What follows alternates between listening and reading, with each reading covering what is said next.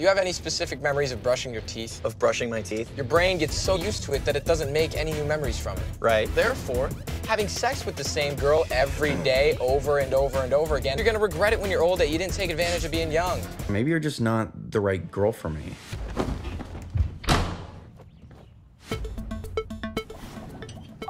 Hello? Yo, Nate, it's Kaji. Hey, Kaji, what's up, dude? Today's my wedding, dog. Did you forget?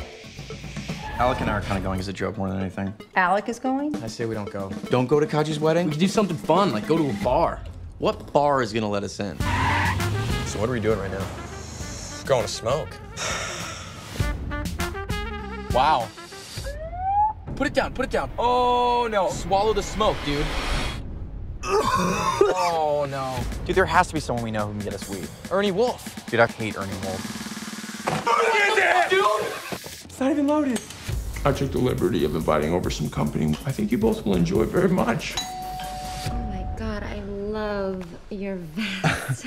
Oh, no, it's...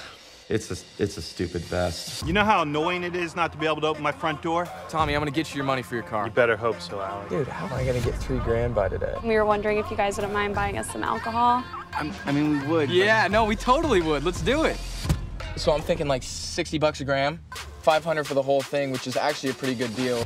Did you steal that from Ernie? Forgive me for being desperate, all right? Did you see his gun? He's gonna kill us, you idiot. I'm not going to Kaji's wedding without any weed. Don't eat the whole thing at once. We are here today to celebrate something as special as life itself. Cheers, buddy. To your mom. Hmm.